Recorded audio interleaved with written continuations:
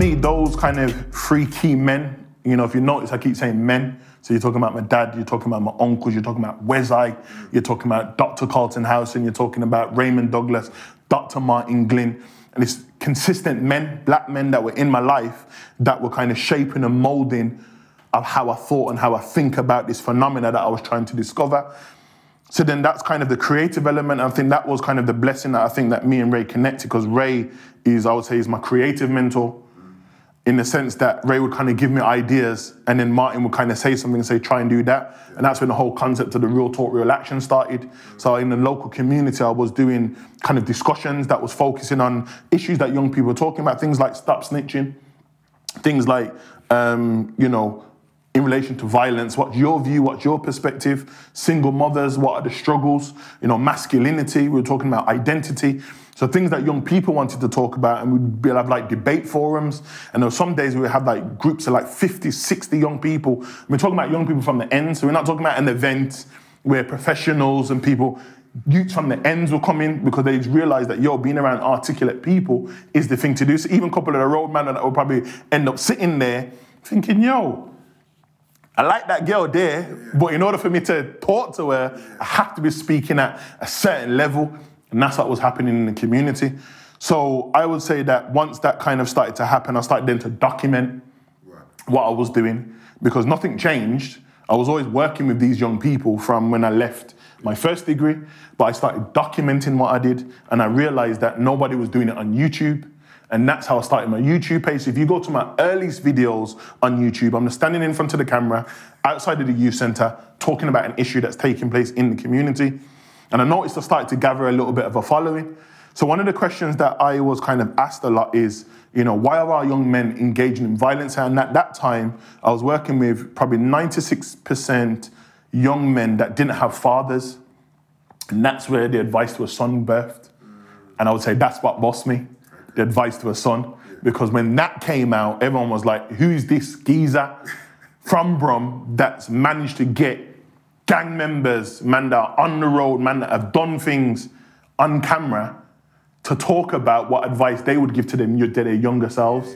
But that also came with about a conflict as well, because I had, you know, young women, mothers from the community saying, How have you got this person on camera? And I don't think that you should have done that and whatnot, because obviously I understand that these individuals were actually still involved in the things that, uh, or the negative things that we hear about in our community. Um, but it wasn't about that. It was about these individuals are reflecting and understanding that, you know, they've made negative and poor life choices. But if there was to speak to their younger self, then this is what it would be. So then when I kind of done the um, uh, the, the showing of advice to a son, a girl come to me and said, why don't you do advice to a daughter? Then it started again. Um, and I would say those two kind of documentaries was made Craig Craig for the world to see. Because in the community, people knew who I was, but for the world to see, Yeah. it was those documentaries. So the YouTube kind of continued, the social media, if you remember Yeah. now, we had your Facebook, your Um, Twitter, your. LinkedIn start coming in. And all I did was just kept consistent. Because you One- were you were the guy. I mean, yeah. I obviously I've seen this journey for almost ten years now, but definitely when I started seeing some of the stuff you were doing, the documentaries, the mm-hmm. consistency Yeah. and the mm-hmm. quality of it as well, mm-hmm. I was like, okay, this is a different realm. We're not used to seeing this level level of professionalism Yeah. in a in a youth sector. Yeah. And it was so whether you were in Birmingham or not, it translated across same stuff we're going on in London and stuff. I just want to let's just for a moment because this is so helpful. Even what you've just said there for people to understand the journey. Because I think what you find is a lot of people will jump in and jump out. And what you have demonstrated is consistency. You've spoken mm-hmm. about the, the modeling, the role models around you. Some of the guys I know, I testify they are as amazing as you've just articulated. I want to talk about the young people. Yes. Because what we've got right about now, some people are talking like this is a new thing. Media, tabloids, press, government, everyone, it feels like for me, working in this field for 20 years, more than ever, the hype um, and how the stories are coming out about youth violence in particular, mm-hmm. knife crime, not just in London, but across the country. Yes. What's your take on this? Mm-hmm. What do you feel is going on with our young people? Mm-hmm. Is it a new thing? Some of the solutions. What do you think is going on here? Well, part of my PhD, because I'm doing a PhD now, um, and my PhD um, focuses on the correlation between social media and violence. And more specifically, it's called Internet Beef, making sense of social media gangs and violence, specifically in Birmingham. So, one of my opening chapters, um, I'm talking about gangs in Birmingham. Now, it's brought me to the early 1800s, where the first kind of um, media kind of demonstration or kind of mention of gangs were during that time. Um, so the phenomena of gangs and violence is not new. It's not a new phenomena, but every kind of era would always present like it's a new phenomena. So I'll talk about kind of the similarities and the differences. So the kind of social factors or the indicators that created those environments for young people to join gangs are the same. Things like poverty, austerity, dysfunctional households. We're talking about domestic violence. We're talking about lack of role models, whether that's male or female. Um, young people having limited resources, things um, that they're unable to do. Uh, we're talking about you know young people that have perceived fears within their communities and environments that then make them start to develop ideas, thoughts, and behaviors that start to make them behave and act a certain way in their local communities limited police resources, and so on and so forth. So, all of those different social factors created environments for young people as young as seven and eight to be involved in violence. So, when you kind of hear now the tabloids are these kids are getting younger and it's county lines and it's exploitation, you can look at 1876 in Birmingham and you'll find that eight and nine year olds will go in jail for not necessarily um, just um, stealing and robbery, but some of them even got caught with guns. 10 year olds been caught with guns, 11 and 12 year olds. And you might remember, you know, kind of Professor Chinn's work that talked about the Peaky Blinders, and that's how we knew about the Peaky Blinders for Birmingham specifically. And then you've got others that talk about, you know, the sloggers before the Peaky Blinders and then the Birmingham boys, and then, but the narrative was exactly the same something was happening in the society that created environments for these young people or young men or young women at that time to mobilize and create subgroups which we know as as gangs. So if we fast forward now and we talk about okay um, the early 80s 90s going into the 2000s some of the differences are things like migration naturally so the, the environments remained the same and we're talking about post-industrial revolution and whatnot. The environments remain the same because now what you find now is that the industrial revolution means that technology is now kicked in. So the need for people to be hands-on are not needed no more. And you got to think that if you talk about people that migrated into this particular country came with trades you know they were good with their hands and they were working in the factories and whatnot and now you're not needed because now it's machinery that's creating these things. So a lot of those communities um, that came with a trade, that didn't come with criminal records, that came to create and build the empire for it to be great, to make Great Britain great, those same communities now, um, because they're not needed, you find now that they're in those environments, now they're finding that they need to try and make money. So now when you talk about things like young people then going into forms of criminality, or you're finding is young people creating groups, and those groups are like almost like surrogate families. And then you've also got to bear in mind is that during those times as well, you had issues around racism. So it wasn't the fact that people were joining groups for the fact that they were in, in trying to get involved in criminality. They were also doing it for protection. And some groups were also forming themselves because they realized that they knew that self development um, is what's going to be key in order to kind of change the reality of what's going on for their children. You go to America and you look at the Black Panther Party, um, you look at the Deacons of Defense in the South, and these different types of groups will realize that, right, that we needed to come together in order to deal with the fact that we might not be needed according to the state, but we need to try and figure out what's going on. And then something happened Drugs came into the community. Them same guns that were used in war came back into the community. So whereas now those same subgroups now are protecting each other from the outsiders, they're now turning on each other because now it's about economics, now it's about power, now it's about geographical space and territory and respect. And all of these things are starting to change. Now we fast forward a little bit more. What do we have now? We look at austerity. We look at the impact of austerity. As I said, when I was working in the in the youth service, that's when youth service was popping. There was money there to do activities with young people. Post um, 2010, millions to start to get cut out. And these predicting factors, we were all saying even 10 years ago, it would happen if you start doing those things. So then when you start to take away all of those things, we go back to the same situation again in, in 1876 the poverty, the deprivation, the austerity, the dysfunctional households, the rise of domestic violence and mental health, and fear, perceived fears within those communities. But now it's sporadic, and it's sporadic now because now we're finding new environments, new groups of people, and new faces engaging in the, in the behavior because now we have social media. So through a click of a button, I'm able now to see your reality through my lens. And your reality is the same as my reality, just that we look very different. So I can then look in Chicago and realize that, okay, that's a murder capital of the world, but guess what? Them drillers, terminologies, where them ups, them individuals over there are going through the same things we're going through because we're poor too. Mm. We're struggling too. But the only way that they seem to engage with their issues is through picking up weapons and harming individuals that might live in their geographical spaces. So now when we convert that now to what's going on here and you listen to the language and the things in which young people are saying, they're saying exactly the same things. They're telling the same story through different lenses, but very similar. So then now you got a kid now that might live in Buckinghamshire that's also able to look on social media and think, okay, Yeah. so when you're fighting, that's how you're supposed to fight. Okay, when you got beef, that's how you're supposed to respond to the beef. And then we can go back for the oldies that might be watching this. Who remembers happy slapping? Who remembers the riots? Remember, it was through technology that people were able to mobilize and engage in certain types of behavior. So we know that social media also is a contributing factor to the way in which other young people and individuals kind of come together and do certain types of behaviors.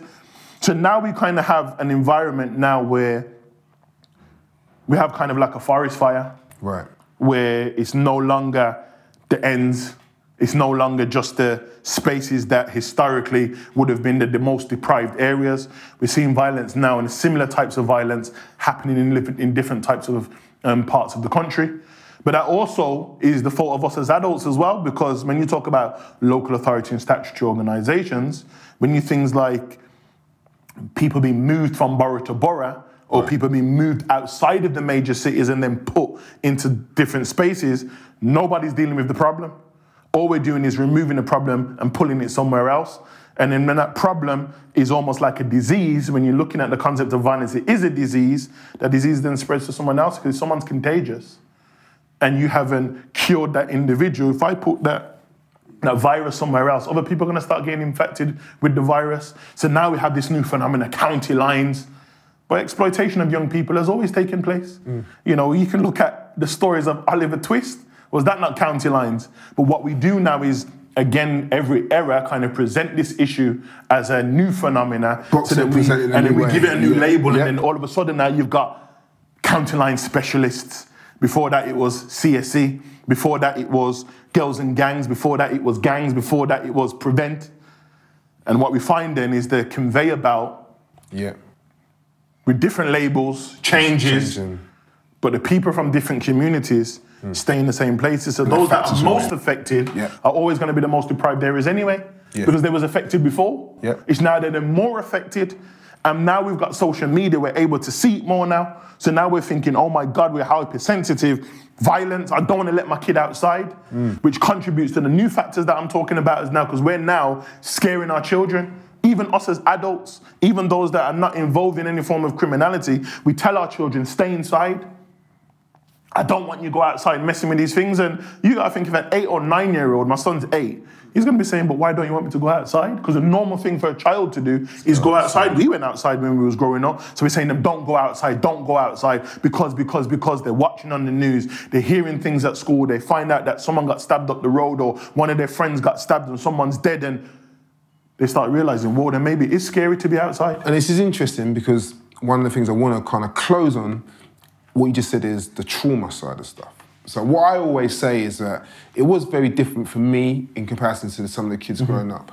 Like if I ever was going to get involved in a fight, I would think to myself, well, I might get a punch in the ribs or I might get a, a black eye. Yes. I never at one point thought, do you know what, this might be the day I'm going to lose my Yeah, life. yeah. That's just mm-hmm. the Yeah. generation I was in. And bear in mind, I grew up in the uh, the shadow of Stephen Lawrence being murdered, Yes. a mile away from my school. So it's not like we're not uh, aware of knife crime. But the point is, I never thought I was going to get stabbed. Whereas what I notice now is like what you just said, there's a trauma across the community, a collective trauma, and a moral panic which an average young person is dealing with. Um, and one of the things which I noticed when, especially in America, Mm. when we started seeing being recorded the police brutality and, Yes. and black people being killed, I picked up that I was suffering from secondary trauma. So as we close, because honestly, I think we're going to need to do a part two. Yeah, we are There's so much Yeah, going yeah, on here.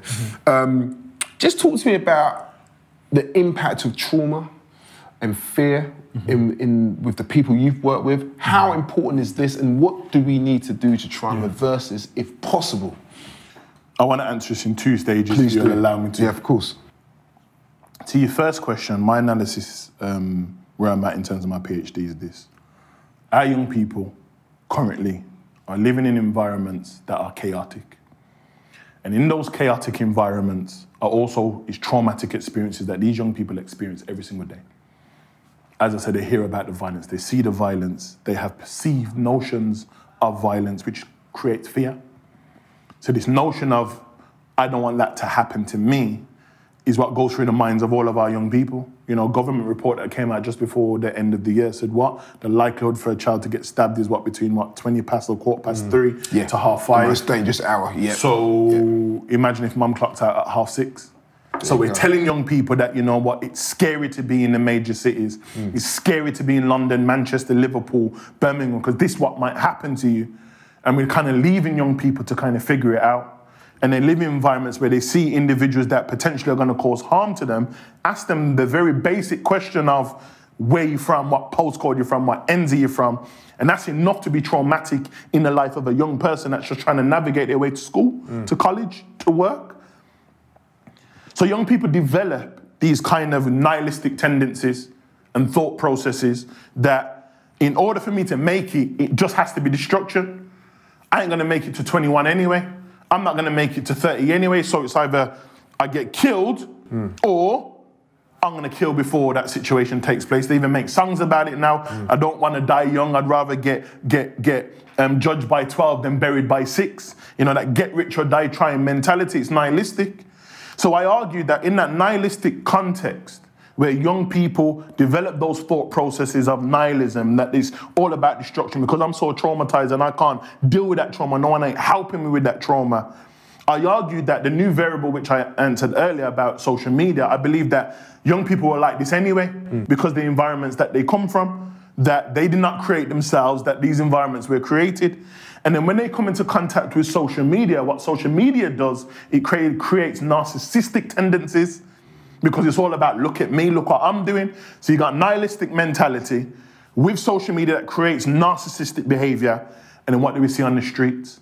Men are prepared now to shoot after each other on camera because now we're so obsessed with the cameras. Now we're stabbing each other on camera. Not only we're we doing that, we're humiliating each other on camera, stripping people naked on camera.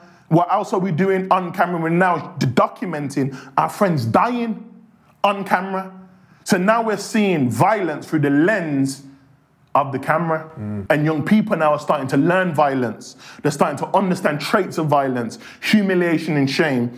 That in order for you to kind of deal with the fact that you're going through a traumatic experience, I just need to document it. And if I'm engaged in beef, I need to do it online. So now, if you go back 20 years and you speak to a gangster 20 years ago, he would say to you, the rule of the book was you never put anything online, but what you haven't taken into consideration is those stages what I've just mentioned.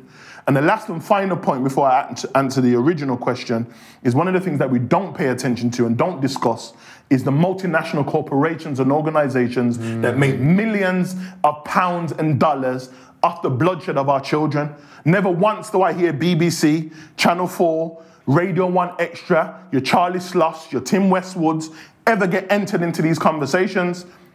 But what these individuals do is that they exploit our communities as culture vultures. They come into our communities and they give the golden ticket. Mm. They say, I'm going to make you rich. Mm. I'm going to get you out the hood. I'm going to give you an opportunity. And guess what? We can't say that they're not. We can just look in terms of the industry now that these individuals are going on tour. These individuals are buying mansions. These people are doing well for themselves and their fam- families. But what message are they sending to our children and our communities? It's self destruction. Because just like when hip hop started many years ago, and it was about freedom, justice, and equality, and fight the power and fight against oppression, and someone then came in and said, you know what, rap about bitches, holes, killing, bloodshed, because that's going to make more money, because sex sells, violence sells, bloodshed sells, and all of those things are very profitable. Do the exact same type of thing, and you go in the community and look where the hip hop industry has now taken us. What's happening now with drill music? So when young people say to me, Craig, well, the reality is that I've only got two options. I either sell these drugs or I make this music. And in my world, mm. it's kind of one of the most challenging things to respond to because when music videos go out in my community, murders happen 48 hours later. So we can't ignore that. So I'm not saying that social media is the reason for the bloodshed of our community. And I'm not going to go with the with the Commissioner Dick and her kind of argument that social media and music is the only reason why it's violent because you're ignoring the, the factors that I mentioned earlier. And social media is now being used as a scapegoat to say that it's the reason, but at the same time, we as a community need to be critical about these things as well. And my critical analysis is that no, it's not the sole reason, but it's a contributing factor and a trigger just like the poverty, the austerity, the domestic violence, the adverse childhood experiences, the mental health, and all of the other things that I've mentioned today. So when we talk about engaging with the issue, we have to also be honest. And it also means that we need to get our hands dirty too. Because it also means now that if we are seeking to engage with the fundamental issues and the root causes to the problem that's creating these environments for young people to join gangs, then that means that we need to go back to understanding economics. Because if you don't understand economics, just telling kids don't jump on the county line and don't jump in the trap don't make no sense because they want money in their pocket. If you're going to tell these young men stop picking up the knife and stop picking up the guns to harm each other, then we need to engage with fear. We need to engage with the mindset and changing the mindset to make them comfortable to understand that in the environments in which they live are not perceived threats of fear. And if they are, we need to also engage with that. We need to also engage in politics and hold people accountable. Because when you look at the Home Office and you look at House of Parliament, and anytime it's a conversation about youth violence, you only always see about three or four MPs in the room. Mm. But badgers get killed and their skin's being used and it's rammed to the door. That shows that even at that level, maybe people's reality is not the same as our reality, and maybe they don't care as the same level that we care. But then we have to also address the elephant in the room with that but an elephant in the room is that we don't want to talk about race, gender, and class. Because the reality is, and we have to be honest as well, that unfortunately, when that young girl, that white young female died as a consequence of knife crime, then Theresa May says, you know what, let's have a roundtable discussion. I've been out here for 15 years. So what happened to the round table discussion when the children from all of our different communities was being killed? And it's not bad, it should be a racial thing, but we need to understand that we live in a racialized social structure. And in that racialized social structure, unfortunately, we categorize crime. And it just so happens that knife and gun crime in county lines is seen as a problem just for people from black and ethnic minority groups. And the only way to engage in that problem, because it's their problem and they did it and they created it, punish them, lock them up, throw away the key, as opposed to dealing with it from a public health perspective that deals with the issues and getting your hands dirty with the things that I'm speaking about. That's also along with economics and politics. Well, yes, is all I can say to that. And really, I get schooled on this thing. 20 years I've been in this field. Um, but what you've just said there is as deep and as rich as we need to go to really understand this issue. And I'm definitely saying we need to do a part two because I just know you've just scratched the surface mm, every time. Man. What I've got to say is, from the bottom of my heart, honestly, what I've seen in terms of how you've grown um, and just the work that you are doing on the ground, the street academia you've managed to kind of bring to the table is a beautiful thing to watch. Um, and I just want to say thank you. Power to, to you. Um, bro, it's brilliant just to have this level of engagement. Yeah, man. I know this is going to be a massive blessing yeah. to people. And um, yeah, man, let's do this again time, really soon. Thank you very much. Yeah. Respect the team. Nice one. Nice one. Thank you.